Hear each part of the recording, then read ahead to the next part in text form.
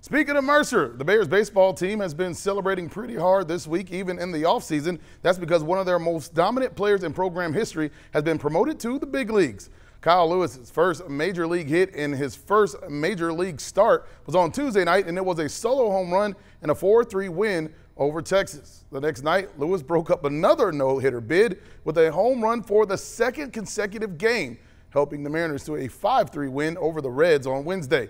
And the Mercer Bears are over the moon excited about Kyle's debut for the world to see it's sort of surreal watching him. You know, three years ago he's on our field playing, and you know we couldn't be more happy for him. But he's just a guy that goes about his business. He works every day, and you know I don't think he gets too concerned with the hype and the potential. He just he works, and that's what he's always done. And he's trusted himself, and he's trusted his process. And man, good things happen to good people. Now, Kyle, the Mariners wrap up their series with the Reds tonight. He's batting 333 over the past two ball games.